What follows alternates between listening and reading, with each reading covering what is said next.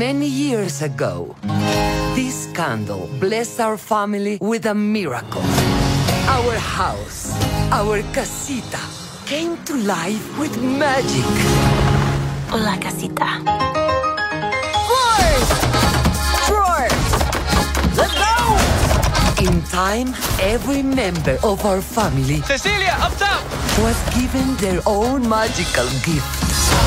I'm not super strong like Luisa. The donkey's got out again. On it! Or effortlessly perfect like Señorita Perfecta Isabella. But Mama, why am I the only one that didn't get a gift? You're just as special as anyone else in this family. Casita? What's going on? The magic is in danger. Protect our home. We must protect our family. This is my chance. I will save the magic. Wait, how do I save the magic? Even in our darkest moments, there's light where you least expect it.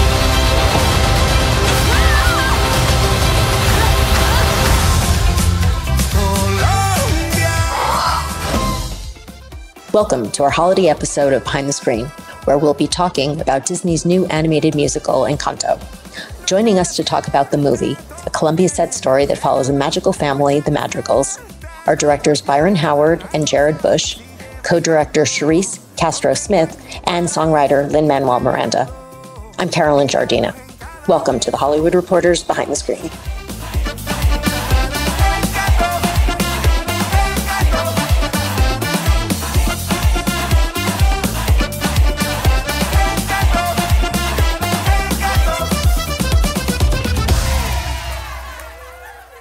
So, congratulations on Encanto. Thank, Thank you so Yeah, much. thanks so much. Byron, why don't you start us off? Um, your musical is set in Colombia, and I know you started talking with Lin um, from prior collaborations on Moana. How did the project come together?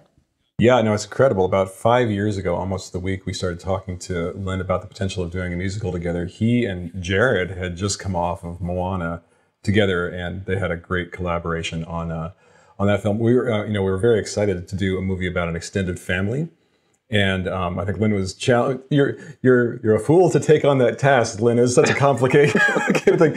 You did a beautiful job, but it was a big ask because we have twelve main characters, and um, also this idea that that uh, Lin had wanted to do a musical set in Latin America, but the question was where to to set it because the region is huge. But all all everything started to point to Colombia being the crossroads of everything in Latin America: culture, um, uh, diversity, music, food, and traditions. And so that's where we actually went together about three and a half years ago, which was an incredible experience with, uh, with us on that trip. Yeah, I mean, it's it's. I'd say that that was one of the one of the really uh, one of the huge luxuries at Disney Animation is that the research is so important, and this has really been five years of of learning for us. But that trip especially was critical um, because you really get off the beaten path. I think everywhere we went there was music. Like you couldn't go anywhere and not hear music and a lot of different types of music uh, and we got to spend a lot of time with colombian families uh, in all sorts of settings whether it was a, a, giant city like bogota or a tiny little town like barichara. So i think that what we really felt like there was this there's this vibe that we were honestly desperate to try to capture because we had such a phenomenal time. Uh, the the people we met there were so uh, uh, welcoming uh, and and really became our partners with this movie from that day forward. So it's been it's honestly been and a great partnership with everybody that we met down there. And magical realism is a big part of it. Charise, do you want to explain that concept?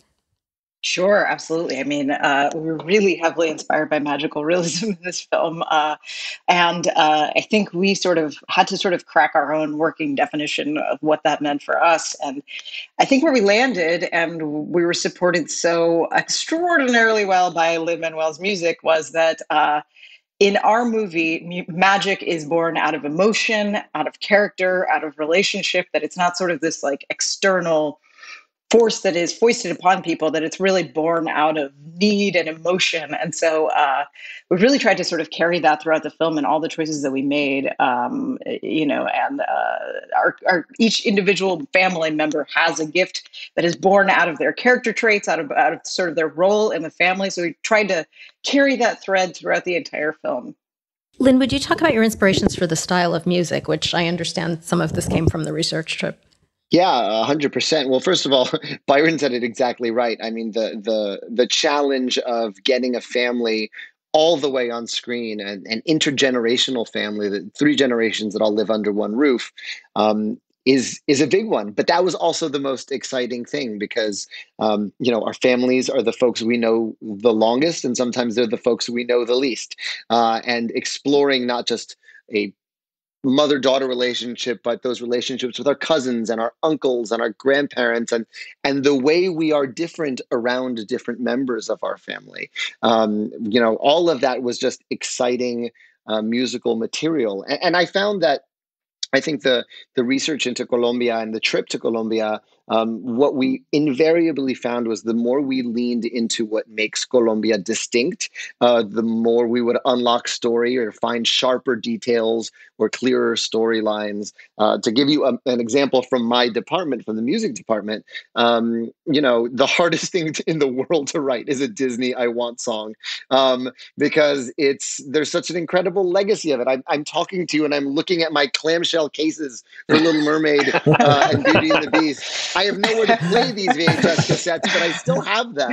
These are mine, and um, you know, it's an intimidating legacy. And so, um, uh, what finally unlocked it for me was actually going back to our research trip and listening to so many of the bambucos we heard on that trip, which is a Colombian waltz. It's in three four time, um, and and I had to get that idea of the anthemic Disney pop song out of my head. No, we're writing a waltz, and that's the that's the, the rhythm for this moment because Mirabel is so out of step with the rest of her family in this moment and feels and so it may it only makes sense that she's rhythmically in a completely different place. Uh, and once i leaned into that sort of folk form it, it kind of wrote itself. Let's listen to that one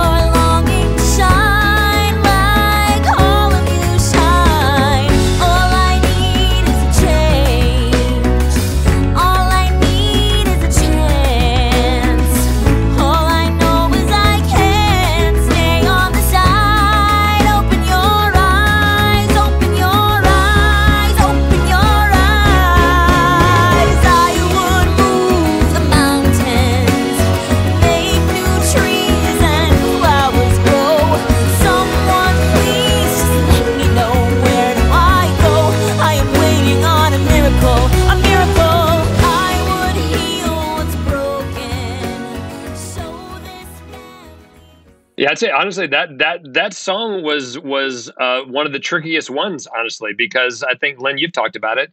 Um, Mirabel is a very interesting character. She's not like uh, any other Disney heroine we put on screen before. She's very flawed. She has these insecurities, but she has this big heart. And this this song is really talking about her wanting to feel seen by her family and to make these connections, which is which is very unusual for one of these stories. And I think we really had to understand Mirabel's entire journey to uh, to really understand, you know, what that song uh, uh, needed to do.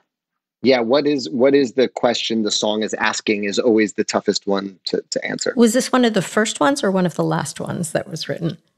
One of the last ones. By a long shot. I, and and probably the one that went through the most drafts you know um, the first song uh, i wrote for this movie was uh, the family madrigal. And it was before we had a second or third act.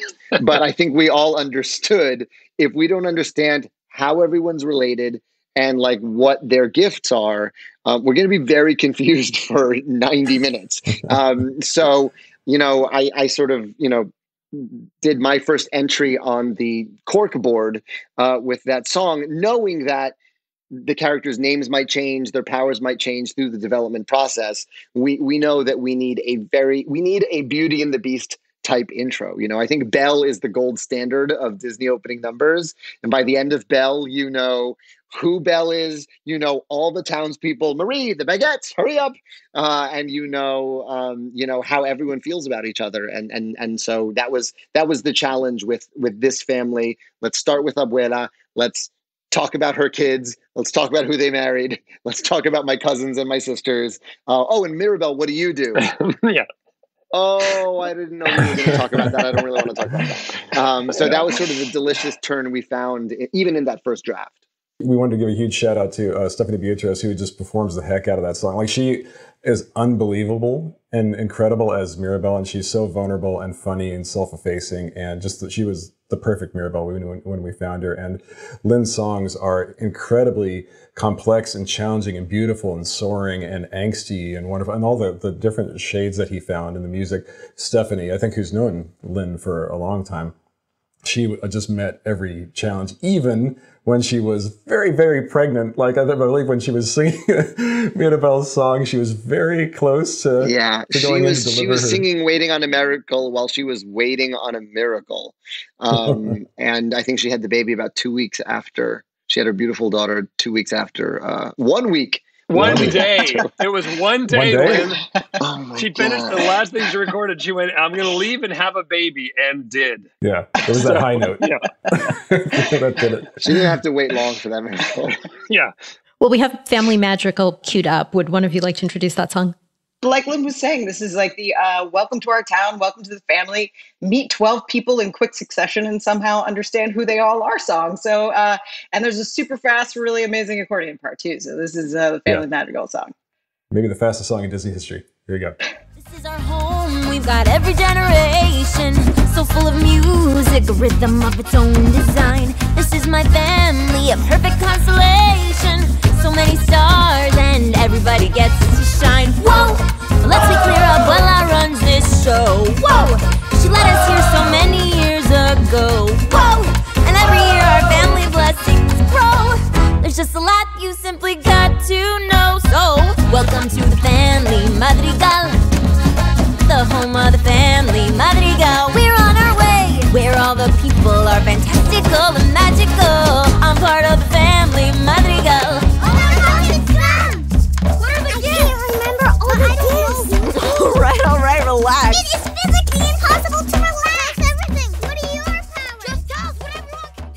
The next one we're going to listen to is Surface Pressure, which is a song uh, from Luisa, uh, voiced by Jessica Darrow, who is one of the sisters who's been gifted with great strength. And she sings about the high expectations and pressure that she feels. Lin, would you talk about the style as well as the theme? Yeah, hundred um, percent.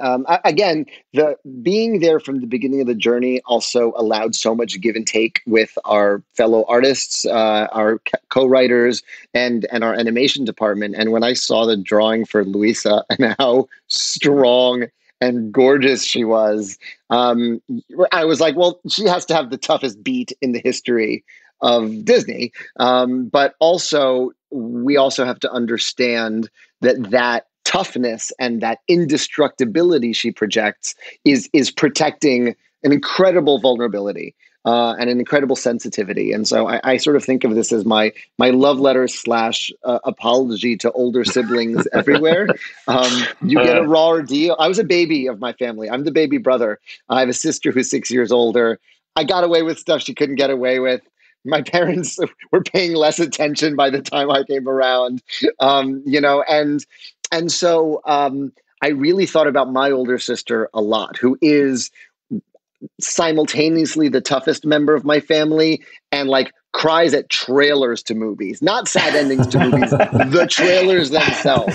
So she's the toughest and most sensitive member of of my family, uh, and it was very easy to write lyrics like "Give it to your sister, your sister is older, give her all the heavy things you can't shoulder."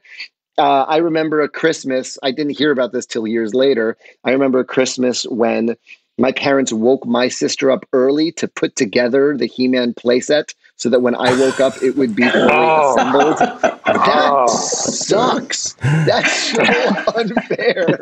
Um, so it was this and many more stories like it that kind of informed uh, the the genesis of surface pressure. feel berserk as a tightrope walker in a three ring circus. Under the surface, was Hercules ever like, yo, I don't wanna fight Cerberus? Under the surface, I'm pretty sure I'm worthless if I can be of service. A floor crack, the straw in the stack that breaks the camel's back. What breaks the camel's back? It's like a drip, drip, drip that'll never stop. Whoa. Pressure that'll tip, tip, tip till you just go pop.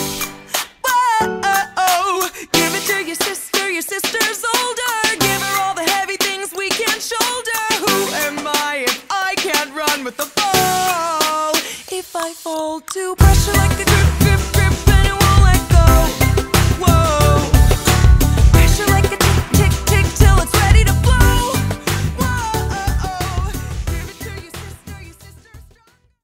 So in the film, they live in a magical house, which is really a character unto itself. Um, would you talk about the style of the house and yeah, some of the um, the inspirations? Oh, sure. So, the, I mean, one of the first ideas that we actually pitched very, very early years ago was this idea that not only was this extended family living in a home, but the home itself could be a character. Um, because we always ask ourselves, like, why is this film animated? Why is it not live action? And our animators, once they heard that idea, went bananas. It is just, it is a dream come true for animators to have something that doesn't have, have a face or hands or anything to express itself. And then the challenge was we really wanted to be true to the materials that we saw in Colombia. We went to many different places. We went to Cartagena and Bogota and Barichara, little tiny towns in the country. Cartagena that had, had a tower. There was a tower in one house that was meant to look out over the horizon to see pirates approaching. So we thought, Bruno, this person who could see the future and predict the safety or demise of his family being in a tower felt very at home. And we also tried to kind of merge a lot of these architectural styles to be true to the differences that we found in uh, Colombia because the family itself is different. So you'll actually see the houses sort of color coded by their costume, like who's who and what part of the house they inhabit. Pepa's tower with uh, Felix actually has a, a cloud hanging over it all the time or rainbows if she's uh, if she's happy. But it's the the house was very early on, like this this concept, um, and also because uh, this is a musical, big time. Um, musicalizing the house was a was a great challenge as well, and folding that into a way to incorporate uh, an affection for the family. Early on, we knew that this whole movie was going to take place in this home. But we'd just been to Colombia. We'd spoken to many of our friends, and Colombia is vast. It's like a third the size of the United States. It's you know, a lot of times it's considered five countries in one.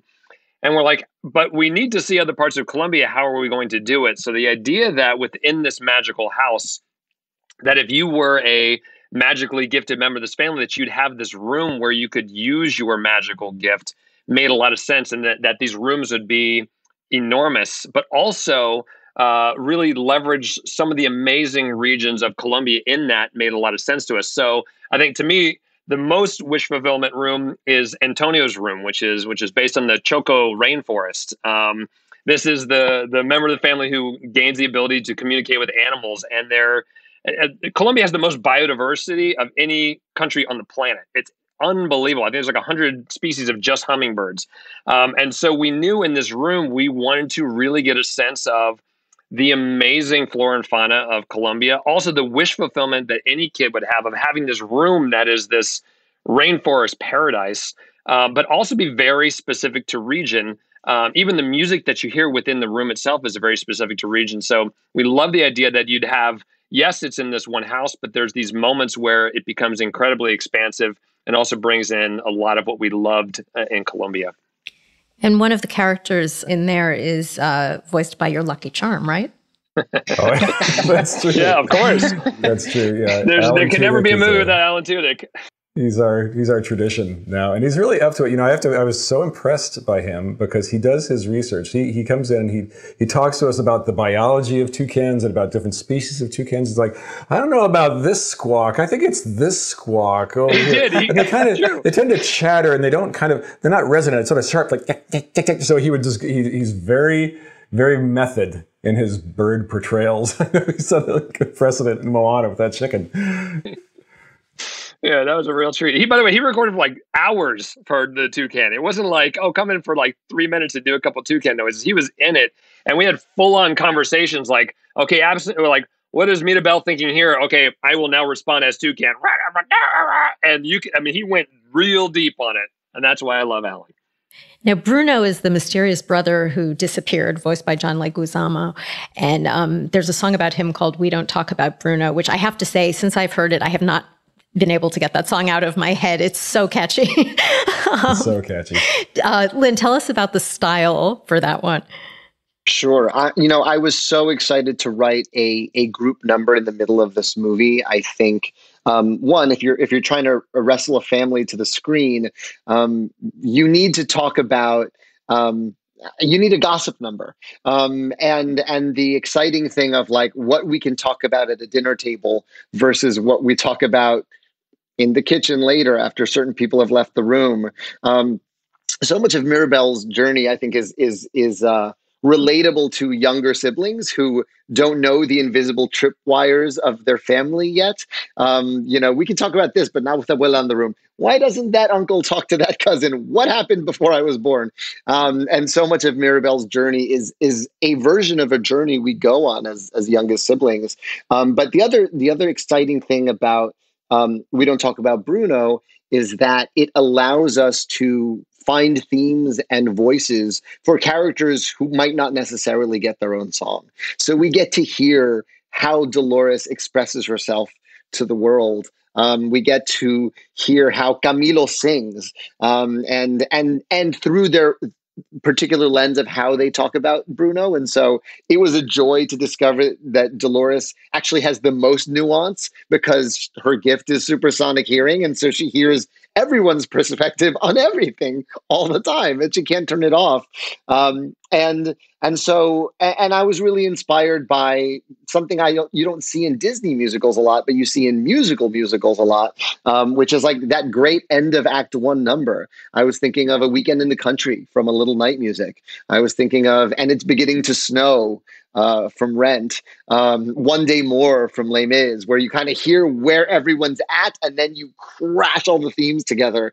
uh, at the end. And that was enormously exciting because and what animation can do is take that and and take it to the next level. And what the animators were inspired by and and the incredible choreographers uh, that that um, were our collaborators on this as well like to see the way Dolores moves versus uh, and Uncle Felix uh, was just so exciting, and and it really it, it was really um, an incredible collaboration putting that beast together. We don't talk about Bruno, about Bruno, but it was my wedding day. It was our wedding We were getting ready, and there wasn't a cloud in the sky. No clouds allowed in the sky. Bruno walks in with a mischievous grin. Thunder. You're telling this story, or am I? I'm sorry, maybe that go wrong. Bruno says it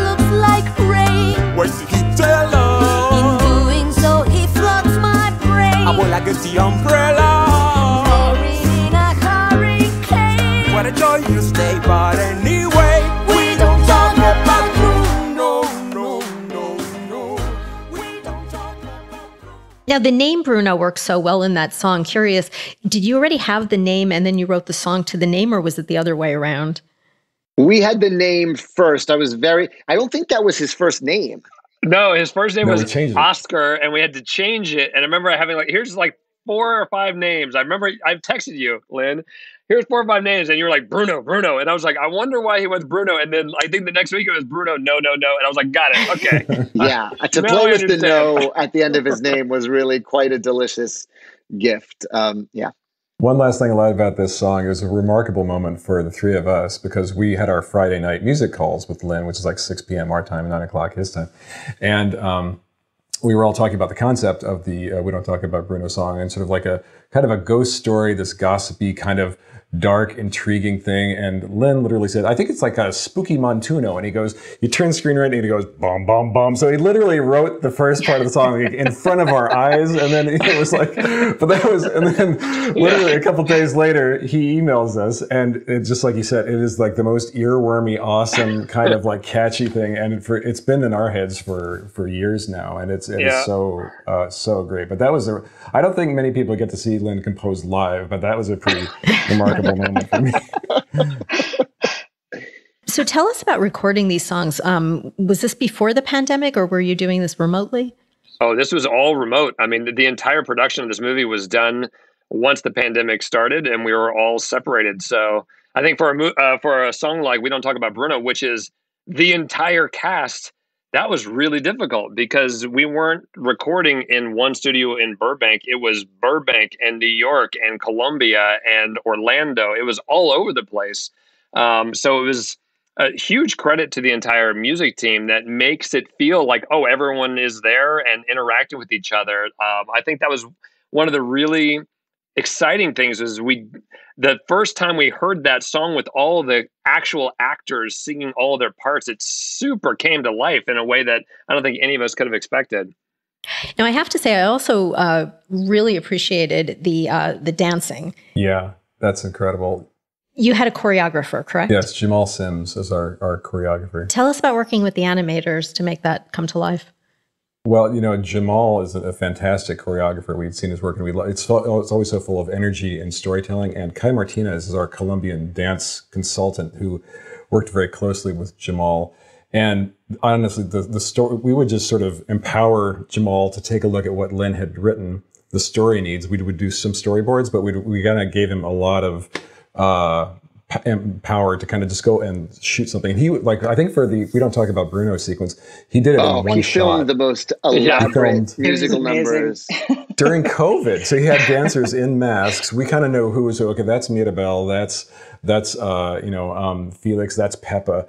But all within a soundstage and just kind of like moving that camera around. And then our uh, our cinematographers worked with him and Kai to kind of get these elaborate moving cameras and also to land those very specific Colombian uh, dance moves. And they're all based, it's not just like rubber stamping the moves from one character to another. Like we had different body types. Like like Pepa is a full head and a half higher, that taller than Felix. So they have to think about the physicality of that. But it is just like this beautiful um, tapestry when it's all woven together. And when you see it in the finished film, it's it's pretty it's pretty great. So we we owe them a huge yeah. By the way, amount of thanks. I'll say uh, the first time we saw it, that was the first song we saw the choreography for. Was Yeah. we don't talk about Bruno. I straight up cried when I saw it because I did not know what would be capable, and seeing that, knowing how different it was. We haven't really tried to do that in animation before. That level of choreography, that number of people.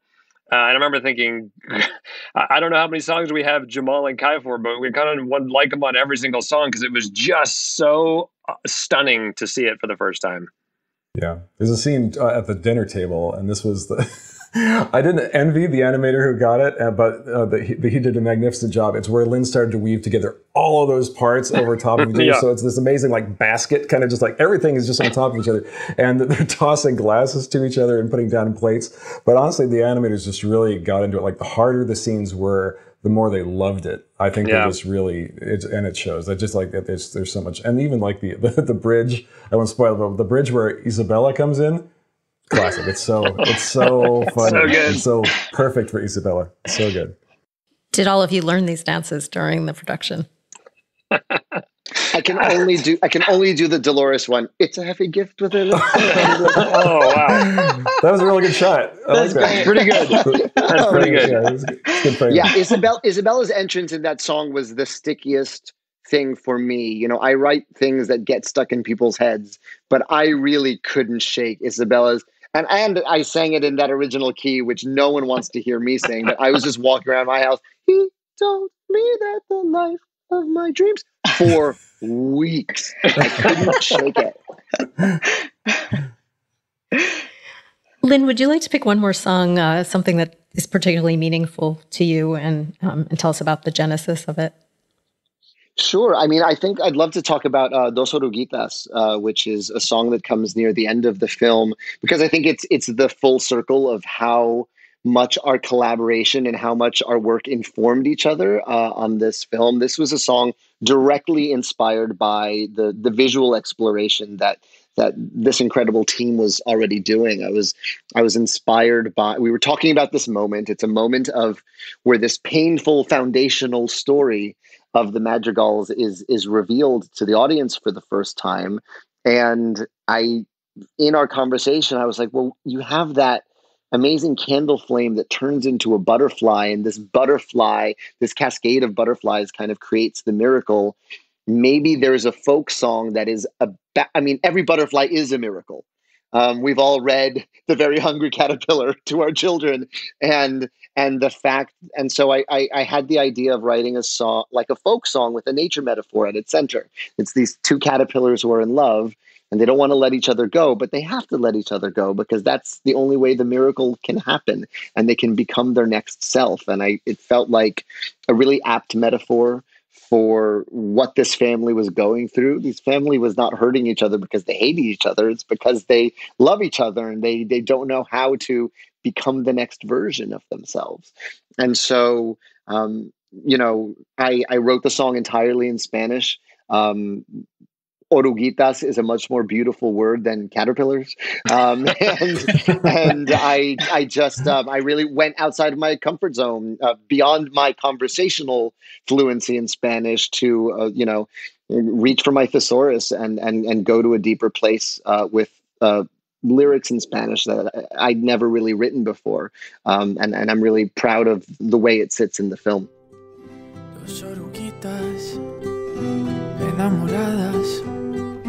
pasan sus noches y madrugadas llenas de hambre siguen andando y navegando un mundo que cambia y sigue cambiando navegando un mundo cambia y sigue cambiando dos oruquitas paran el viento mientras se abrazan con sentimiento siguen creciendo, no saben cuándo buscar algún rincón.